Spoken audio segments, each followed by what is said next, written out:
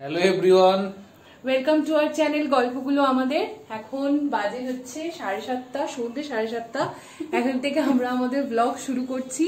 তো মুখের অবস্থা দেখেছ? মানে জাস্ট ওয়েদারের জন্য। আমরা তো সমুদ্রে স্নান করিনি কিন্তু ওয়েদার এমন ছিল যে পুরো দুজনেরই পুরো ট্যান পড়ে গেছে।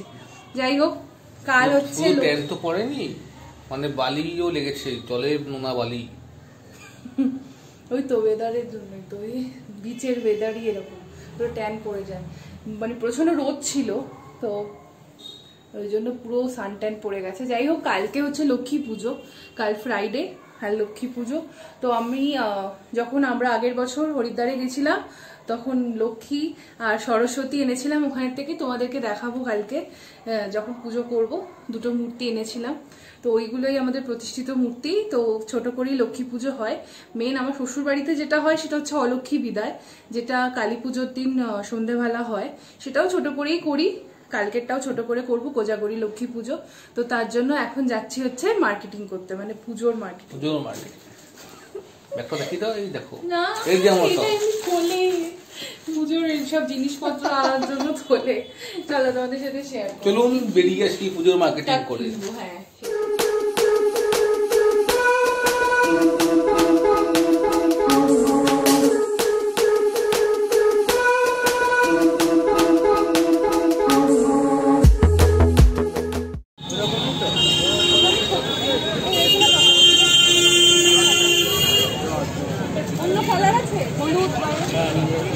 যেমন কি এই দশ টাকা দশ টাকা কুড়ি টাকা দশ টাকার একটা দিয়ে লাগছে বসতে আঠা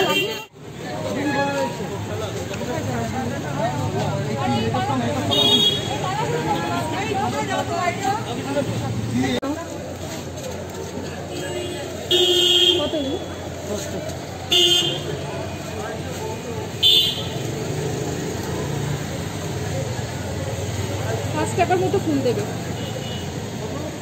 জবা দিও তো তিন চারটে।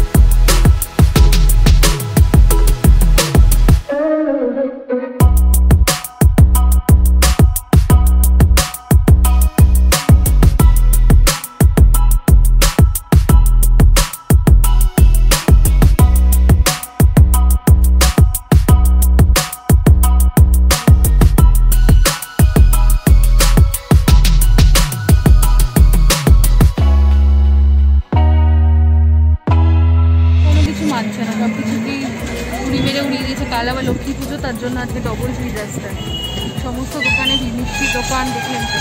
ফুলের দোকান ইভেন যে মানে লক্ষ্মী পুজোর যা যা সামগ্রী লাগবে, সেই দোকানেও খুব কেউই কিছু মানছে না। কিছু করারও নেই কালকে পুজো। খুবই রিস্কের মধ্যে আর কি আমরা যাচ্ছি সবাই। কিছু করার নেই। সব কিছুই মানে আমরা মানতে চাইলেও সমাজ মানছে না।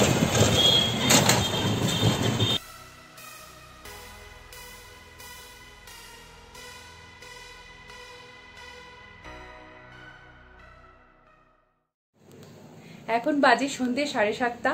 এখন আমি বসবো লক্ষ্মী পুজোয়। তোমাদের সবাইকে জানাই কোজাগরি লক্ষ্মী পুজোর আন্তরিক প্রীতি ও শুভেচ্ছা। আমি খুব ছোট করেই লক্ষ্মী পুজো করি, কিন্তু পুজোর তো ছোট বড় কিছু হয় না, পুজো পুজোই। আমি আমার মতো করে করি, আমি যেভাবে, আমার যেটা মন চায় আমি সেভাবেই করি, সমস্ত নিয়ম রীতি মেনেই করি। আমার মনের ইচ্ছা যেরকমভাবে হয় ঠাকুরকে আমি সেভাবেই ডাকি, সেভাবেই পুজো করি। তোমাদের সাথে অ্যাজ আ ফ্যামিলি আমি আজকে শেয়ার করব যে কীভাবে পুজোটা করছি। সঙ্গে থাকো।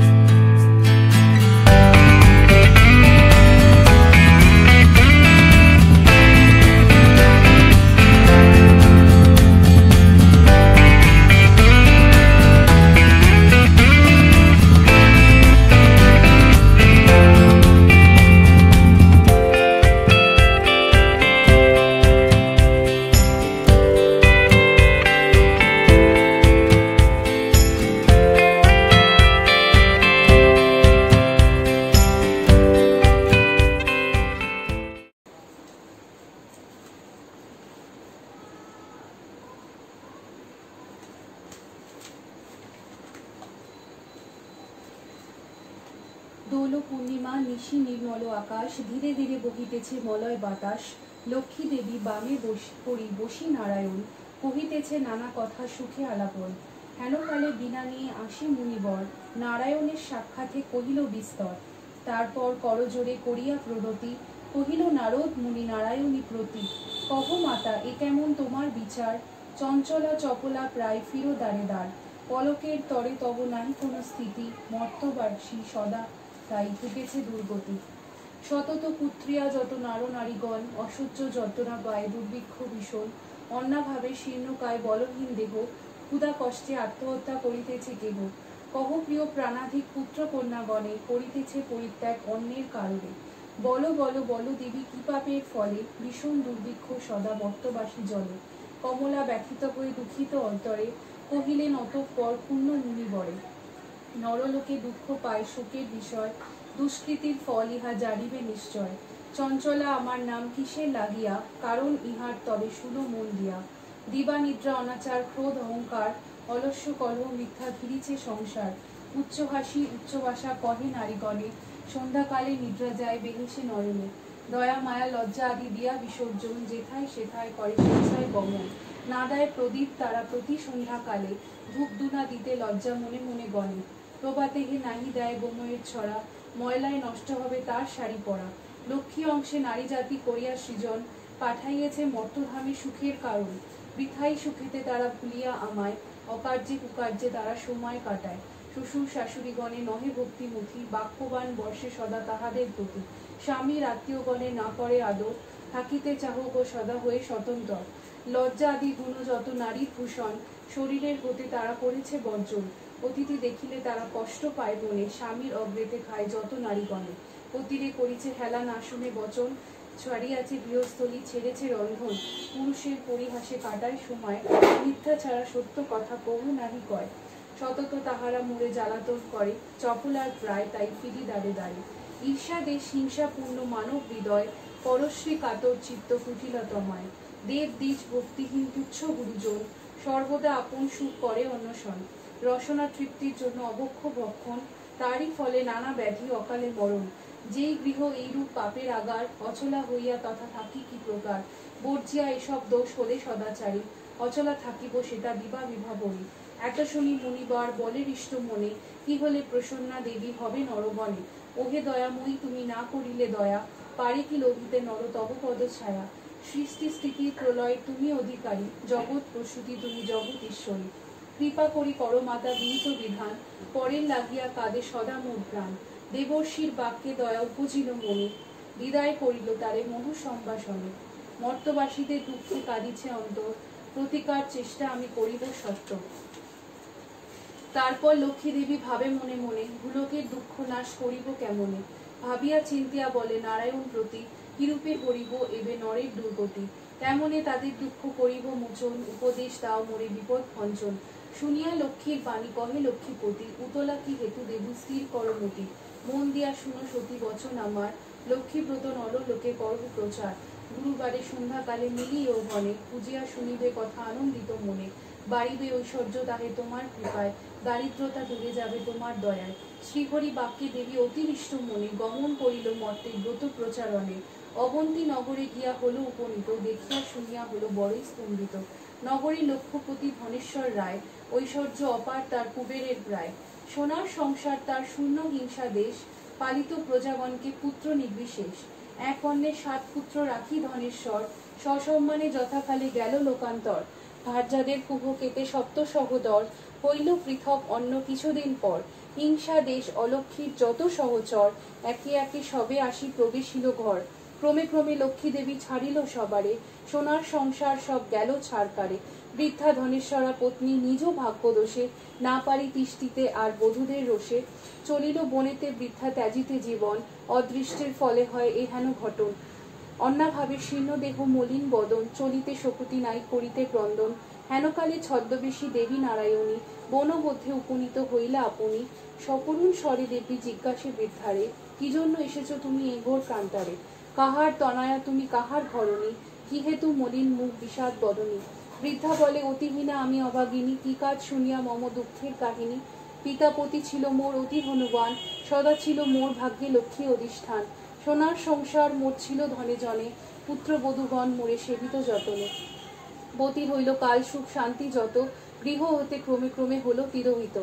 সাত পুত্র, সাত হারি হয়েছে এখন। সতেরো বধূরা মধ্যে করে জ্বালাতন। সহিতে না পারিয়ার সংসার যাতনা, ত্যাজিব জীবন আমি করেছি বাসনা। নারায়ণী বলে, শুনো আমার বচন, আত্মহত্যা মহাপাপ নরকে গমন। যাও সতী গৃহে গিয়ে করো লক্ষ্মীব্রত অচিরে হইবে তব সুখ পূর্ব মতো। গুরুবারে সন্ধ্যাকালে মিলি নারীগণে করিবে লক্ষ্মীর ব্রত হরষিত মনে।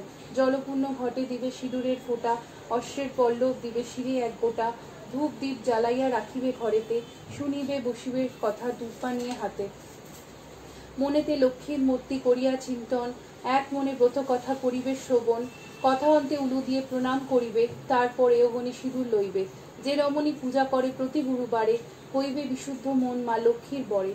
যেই গৃহ ব্রতকালে সব বামাগণ, সর্বকার্য পরিহরি ব্রতে দেয় মন। সেই গৃহে বাধা রব হইয়া অচলা, ভক্তবাঞ্ছা পূর্ণ করি আমি যে কমলা। পৌর্ণমাসী হয় যদি কোনো লক্ষ্মী বাড়ে উপবাস থেকে নারী পুজিও আমারে। সকল বাসনা তবে হইবে পূরণ।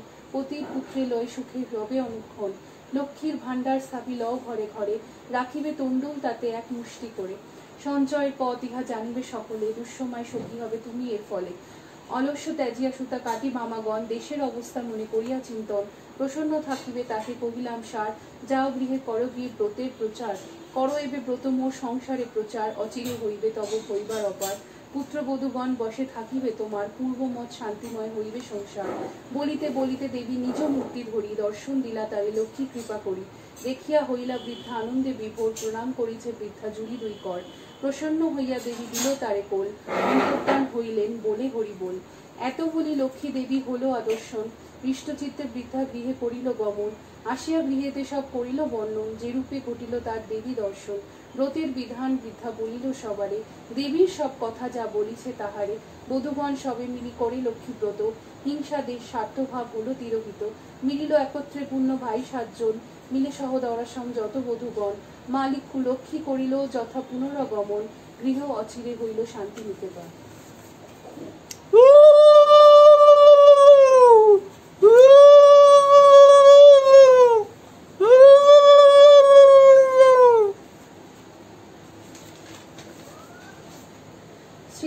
পালন লয় যাহার কটাক্ষে হয়, বন্ধ সেই শ্রীলক্ষ্মী নারায়ণ।